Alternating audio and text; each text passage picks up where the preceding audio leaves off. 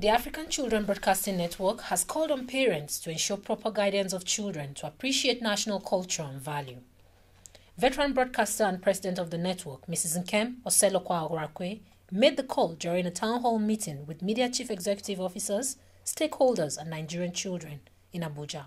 Orakwe stressed the need for the media to consciously enhance the quality of content of children's programs as a channel for positive behavioral change. I'm glad to tell you that this meeting, this um, roundtable discussion, um, has been convened by the African Children Broadcasting Network in partnership with the Auntie Nkem Children and Young Persons Foundation.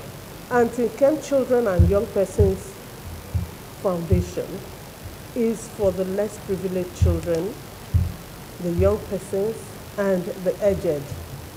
We are working towards helping the less privileged in our society.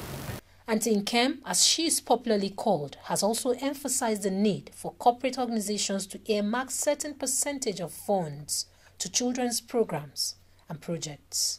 Producers from stations is not just the independent producers.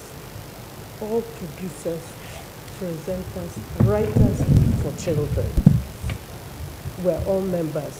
So we are going to start work every one of us. Also speaking at the event, the general manager of Capital FM, Ms. Mercy Njoku, called on Nigerian children to patronize local content in the media. Take time to listen to what we bring out and also to watch the puppets that talk on our NTA and the programs that we do. When you see our local ones, they look funny, they don't look so interesting, they but they are, they, are, they are doing them for you. Even if you don't think it's as smart as the Igbo people's own, watch them. They are trying to teach you something. They are giving you values.